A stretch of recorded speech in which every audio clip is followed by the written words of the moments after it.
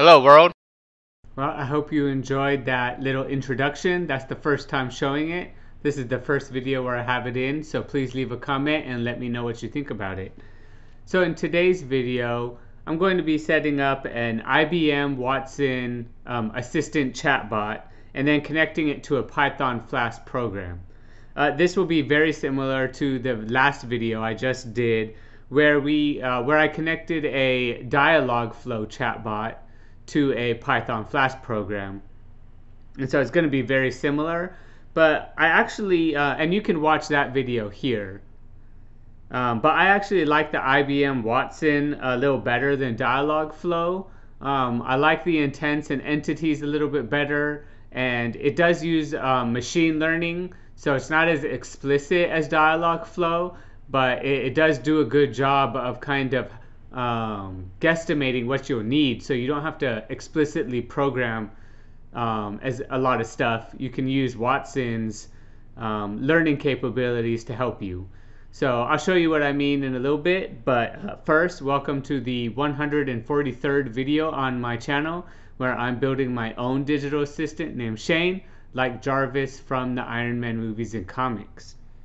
And so uh, what you'll do is you'll go to cloud.ibm.com um, slash login and then sign up and go through all of that process. And then um, once you're here just go ahead and log in with your username and password. And then it's going to log in then it's going to go slow because I'm recording a video and then what you're going to do is you're going to go to catalog. And then um, you can scroll down and look at all the amazing stuff it has. Or you can just go um, Watson Assistant. Click on that. And then you're going to set a location. So set the location closest to you. And then select your pricing plan. So if this is something you want to use professionally, then um, you have to pay for it. But we're just doing this um, as a personal hobby. So I just use the free one. So go down here, call it something, um, and then submit. And then you'll have your own instance. So um, go through those procedures and then you'll look here. You won't have this one and you'll just go ahead and create assistant. So I've already created mine. So um, when you create your assistant, you'll be asked to um, name it. I named, uh, I just pressed next a bunch of times. So mine was called my first uh, skill, or I'm sorry, my first uh, assistant. Um, I called mine uh, TestBot, I believe. Yeah, I called mine TestBot, I believe. So uh, my first assistant. Um, what I recommend is you go through the tutorial and set up your own thing. Or if you're an expert programmer, you skip the whole tutorial and you just get frustrated trying to figure it out yourself. So that's what a good programmer does. So this uses what every chatbot software uses, intents, entities, and then you get to control the dialogue. So I'm to show you what I did real quick. I created three entities in introduction, so um, I left this blank and then the user example was hello, hi. Uh, I haven't programmed that yet. Um, then I created one called get name. So this is, you type in the user's examples right here, right? So my name is Brandon, my name is Chris, my name is Jeanette, my name is Jeff. So put a lot of examples. Um, try to uh, try to guess all the examples, but only put like five to ten and then what you can do is press this annotate. Well, let's skip that for a second. And then I created one called get interest, right? What, what are they doing? Why are they here? I want to buy something. I want to sell something. I'm interested in buying something. I'm interested in selling something. So you just add these examples here and then press add example. So those are some um, intents, right? That's where you try to tell Watson the intent of the user. Then you need to capture some variables with entities. So I created one called at buy interest at sell interest, and then username. So this username, try to give it as many um, usernames as you can, and then name it something. So I named it at username. Same with the buy interest. So buy or buying, um, that's going to be the buy interest. And you just type in your value here and it brings them down here. Um, same with the sell interest, sell or selling. So now that you have those three entities, and you can create whatever entities you want, like ordering something, um, returning something, you know, whatever your service you're providing. You go back to your intents, um, and then you type in this right here, annotate entities. So if somebody types in, my name is Brandon, um, unfortunately, IBM Watson does not have some of the variables that um, Dialogflows, like has sys hyphen name, so system name, um, or system any, where you can type in anything. So, but all you have to do is uh, annotate entities and then see how each one of these words is highlighted or, um, I guess, dotted lined. You just type in the anticipated entity. So, Brandon and then you assign it username, right? You can either make your own entity here or assign it the entity that um, you created before. And do that for each one. And then eventually, um, Watson's going to learn my name is blank is a name. So that's how you do that. And so then you can just try it, right? Let's let's try this. Um, so I programmed this Oh, I'm sorry. Let's go to dialogue before we try it. So the dialogue, then you, this is where you control the conversation. So the welcome, right? So unwelcome. So if the system recognizes welcome, which is the introduction, then I want to type in, hi, I'm a chatbot. What's your name? Because the first thing I want to do is capture their name. Um, you can type in anything, and if they go anything else, it takes them to the anything else section. Right? So this is where you enter a condition. Um, and then that's how you control it. So then you can do a um, add node below or add child node. And this is what I called respond to name. So they just typed in their name, right? And what we're going to do, man, I have to keep moving this, is if the assistant recognizes this intent, right? This is what the dollar or the pound sign is. So if it recognizes the get name and the username, which is um, what we identified as my name is Brandon, then we want to uh, respond with hi at username. What services are you interested in? Right? So now it's going to learn what that username is. Okay, and then once they enter their username, then we're going to go into, we set up two different options, a buy interest. So if it recognizes the buy interest, then we're going to say, great, you're interested in buying something. Similarly with the sell interest, so you can create your own thing right here. So uh, let's close that and go add node. And then you enter your node, right? Detect something. And then in this condition, you can add in your own intent, your own entity, or your own context variable. And if it recognizes that or a bunch of things, right, you can put in a bunch of variables here um, or conditions. Then we want to enter a response text, right? Or you can use an option or um, an image. You can say, can we connect you to a human agent? So you have a bunch of options there. Okay, so that's what we have now, right? It's very sim it's very simple, very simple chatbot, but let's try it out. So hi, I'm a chatbot. What's your name? Now you can click on this to show the node you're in, right? So we are right here in this welcome node. So I'm going to type in, well, let's, let's look at the intents that we put in. So we put in Brandon, Chris, Jeanette, Jeff, Lisa. So what if we put my name is David. So ignore this error because we are in a uh, that's the webhook error.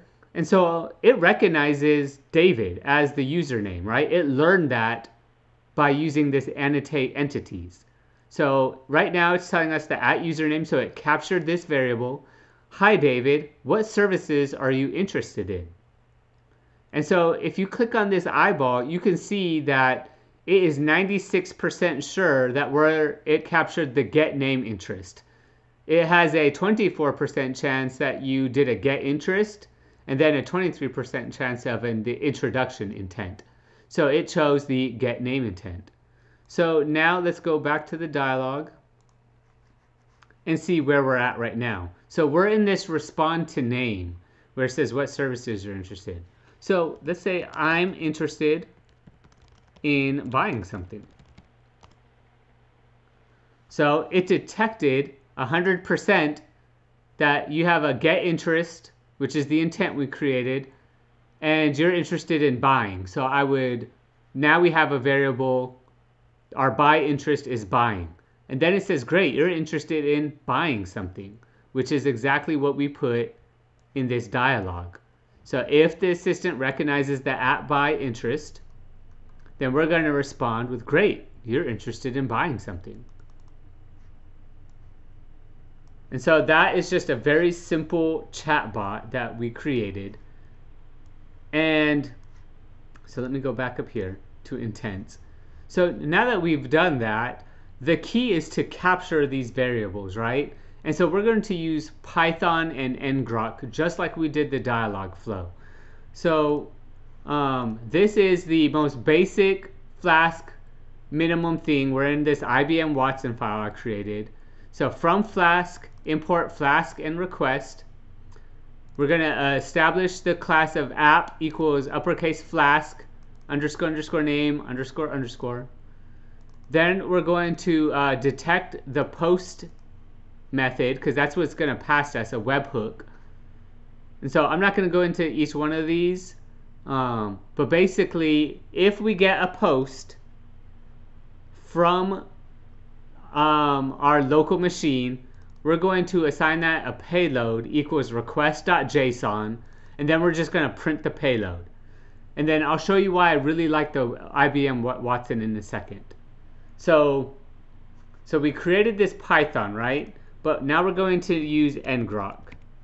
So go to uh, ngrok download and download this. Um, and once you download it, it's going to be in your downloads folder probably unless you choose a different path. So just don't click on the ngrok.exe. What you need to do is open the file location. And then in this little uh, explorer, if you're using Windows, just type in command cmd and it takes you to the root of the folder. And that's where you're going to run this. So then we're going to run ngrok.exe http 5000. And this is our local machine, right? So we're establishing this faux website on our local machine. And ngrok gives us a real webhook URL to use. So use this HTTPS, copy and paste it, right? So we're going to copy that. And then once you're in the IBM Watson, you're going to go to options and see where this webhook setup is. You're going to enable it and then you're going to copy and paste the ngrok website. And so what this does is this is a one a single use URL, right? As soon as you close ngrok, then this URL doesn't use. But once you have a website that collects data, then you enter the permanent website in here that always is looking for a post. So there's no save button. You just uh, do that. And then it says the next step is to trigger this webhook from an individual dialog node, enable webhooks from the customized page of the node.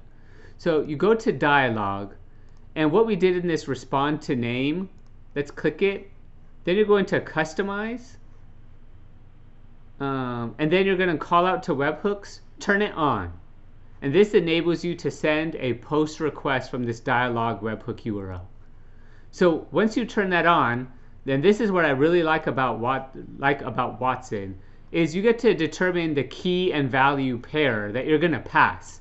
So if if you remember in the Dialogflow, it sends the whole JSON payload, right? Which is kind of cool, but what if you just want the simple data? So you uh, so add parameter. So you, you can name this whatever you want. So variable that you want to store, and then um, you type in whatever you're trying to pass it. So if it's a variable, you're going to pass in the variable, the entity's name. Um, but we're not going to do that, so we're going to delete this.